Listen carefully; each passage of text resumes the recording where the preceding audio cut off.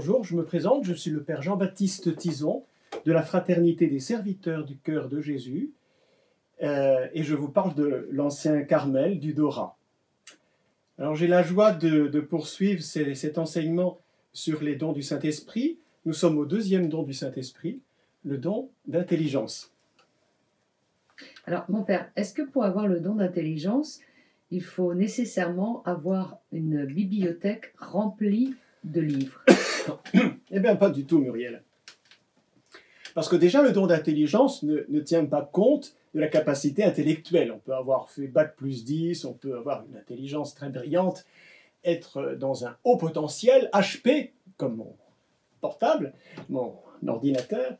Eh bien, si votre intelligence n'est pas éclairée par la foi, eh bien, elle ne comprend rien à ce qui est écrit dans tous ces livres de théologie et de vie spirituelle.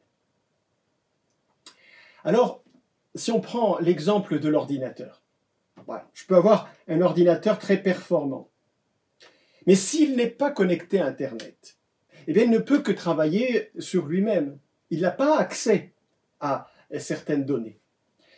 Eh bien, il en va de même pour la raison, une raison qui n'a pas la foi.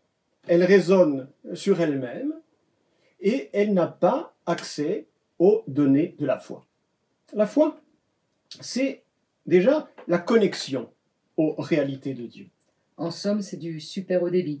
C'est du super haut débit. Et c'est par le baptême et la confirmation que cette disposition, cette capacité à comprendre les choses de Dieu a été en quelque sorte installée en nous.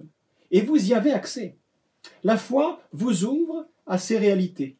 Et le don euh, d'intelligence, eh bien, il vous en fait voir le contenu. Vous êtes donc connecté à Dieu par la foi. Connecte les jeunes. Connecte les jeunes et, aussi les moins jeunes. Et le don d'intelligence, eh c'est comme un, gigantesque moteur de recherche qui vous donne accès à toutes ces réalités de la foi que Dieu veut vous révéler. Mais j'ai conscience que l'exemple informatique que je vous donne a ses limites parce que Internet vous donne accès à tout et à n'importe quoi. Alors que le don de l'intelligence, lui, il vous donne accès à la pure vérité de Dieu. Mais alors, comment ce don d'esprit nous fait découvrir la vérité divine? Eh bien, nous fait comprendre euh, les vérités divines de l'intérieur. C'est d'ailleurs le, sens profond du mot intelligence, intus legere, qui veut dire lire à l'intérieur. Ce que l'œil n'a pas vu, mais tout ce que Dieu a préparé pour ceux qui l'aiment, c'est à nous que Dieu l'a révélé par l'Esprit, dit Saint Paul dans la première aux Corinthiens au chapitre 2, versets 9 et 10.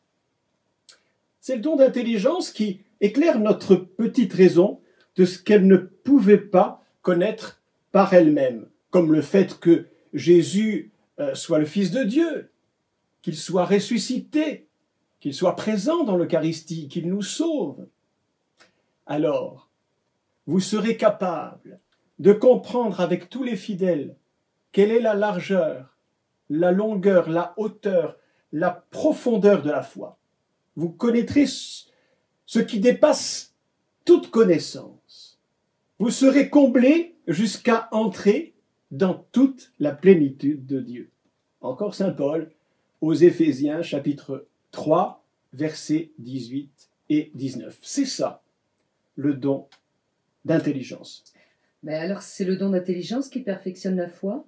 Oui, le don d'intelligence perfectionne la foi. Et d'ailleurs, chacun des dons du Saint-Esprit perfectionne les, les vertus qu'on appelle théologales, la foi, l'espérance, la charité.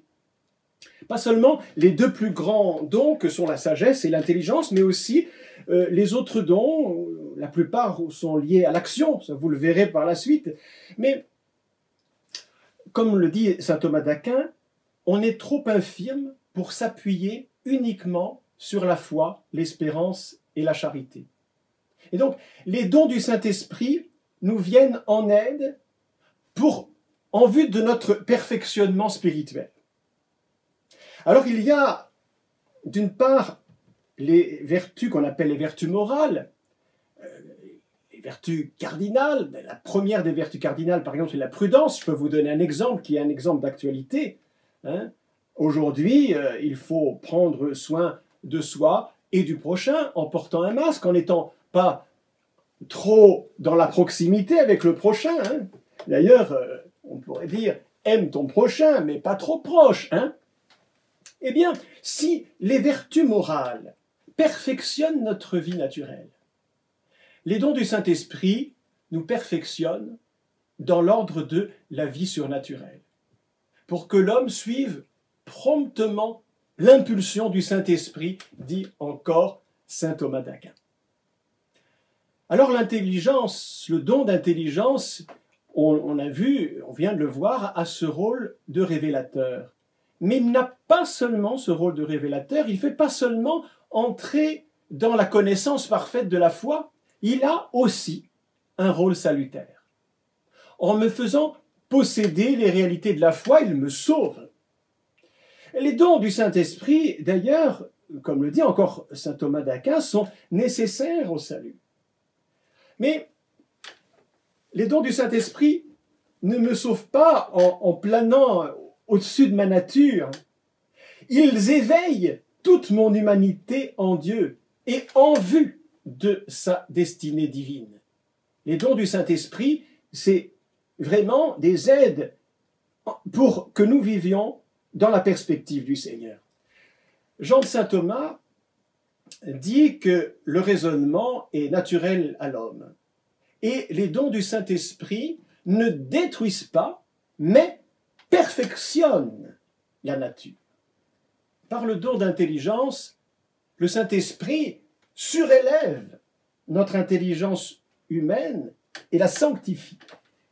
Mais alors, euh, l'Esprit Saint, il vient au secours de notre faiblesse. Oui, l'Esprit Saint vient au secours de notre faiblesse, c'est ce que nous dit encore Saint Paul, et les disciples en ont fait l'expérience.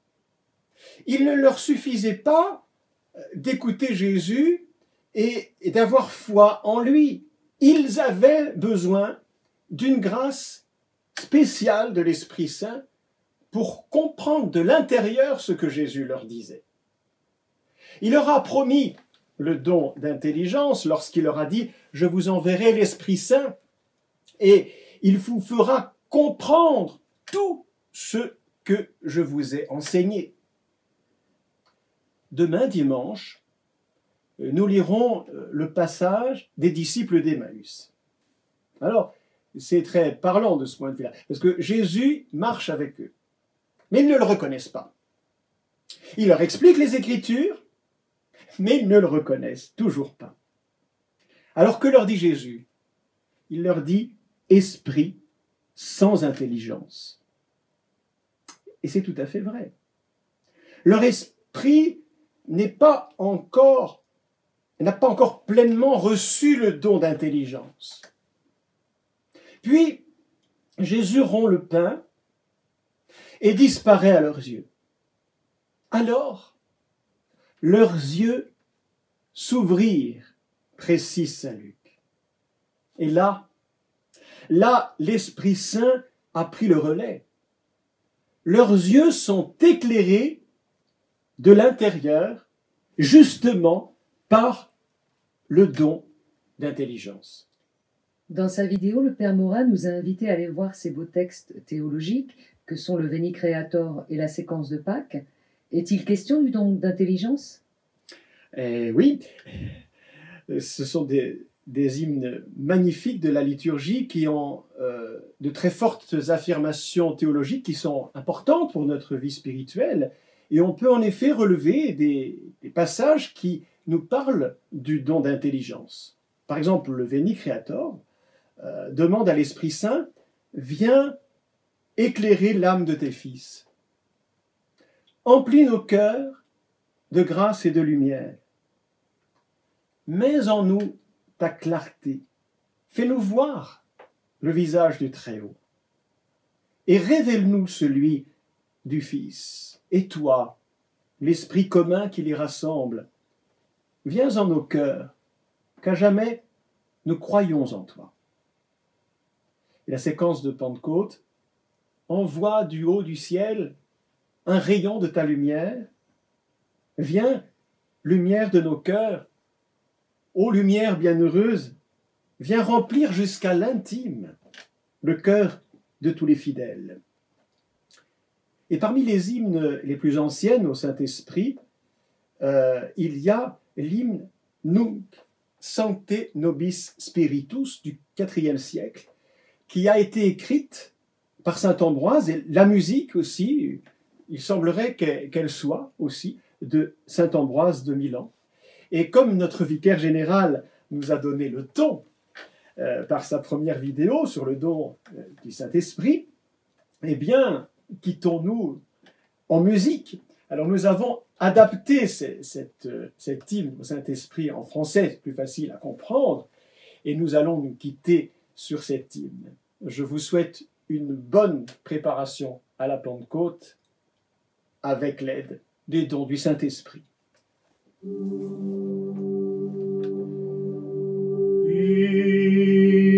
Esprit très saint, daigne en cette heure, uni au Père et au Fils, descendre toi-même sur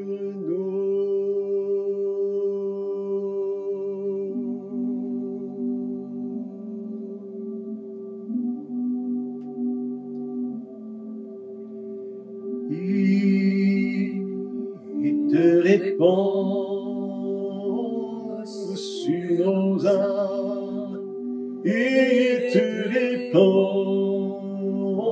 sur nos âmes et te répand sur nos âmes. Et te répand